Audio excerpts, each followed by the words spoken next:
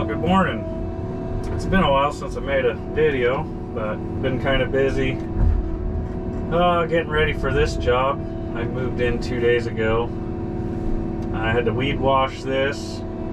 Uh, they have to be really clean for state and federal ground, your undercarriage.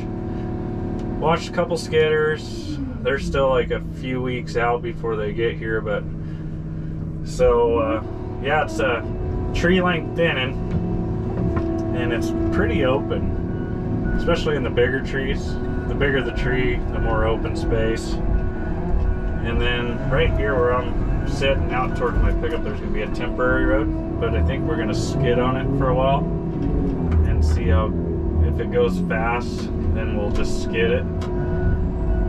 But yeah, nope, I'm just making my way back here, opening this up.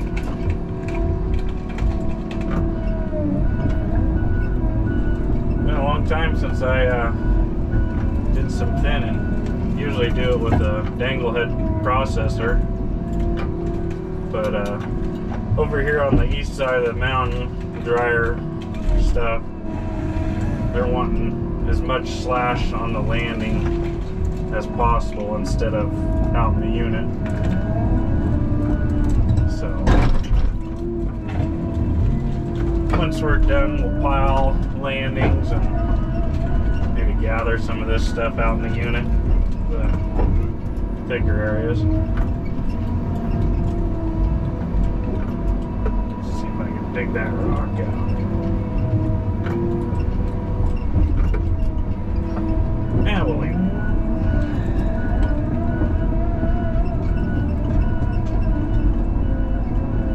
Yeah, it's starting to starting to look pretty good through here.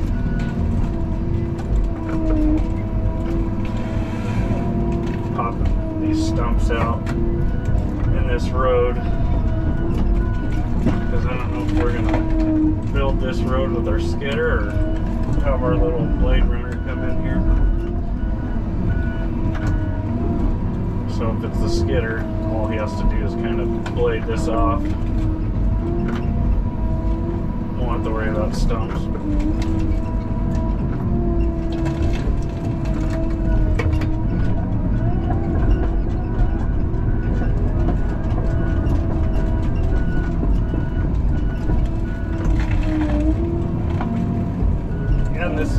More the bigger tree areas.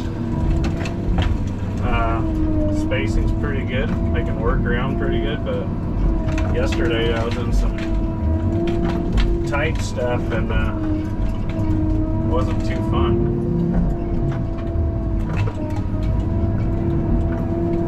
Usually you come in here with a hot saw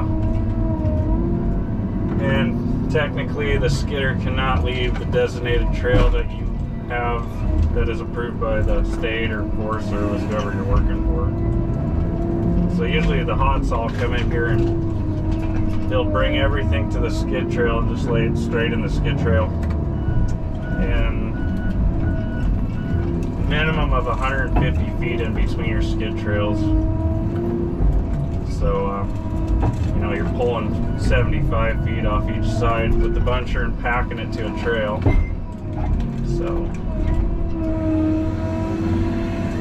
they figured the spacing's pretty good where I can just cut and log it to a trail for the skidder because there's some big trees in here after I get through this corn patch.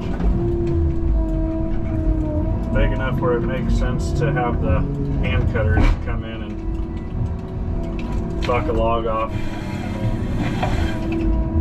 the processor that can run a 40 inch log. So, but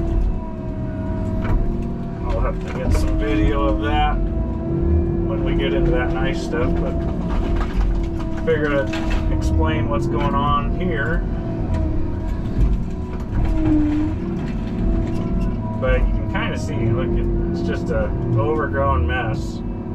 You know, and a fire comes through here, look, there's just so much fuel to just keep burning and burn hot. So